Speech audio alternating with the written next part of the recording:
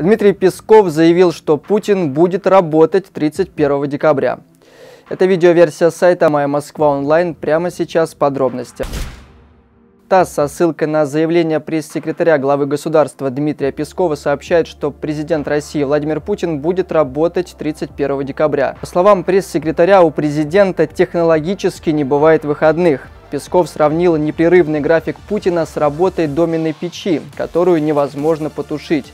Ранее СМИ сообщали, что депутаты от партии ЛДПР предложили внести в Госдуму законопроект, по которому один из выходных календарного года можно будет перенести на 31 декабря. В Роструде при этом отметили, что в текущем году это станет реально, если работодатель сам предоставит дополнительный выходной для своих работников. Пока у меня все, еще больше новостей из жизни столицы, не только на сайте mymsk.online. Всего доброго!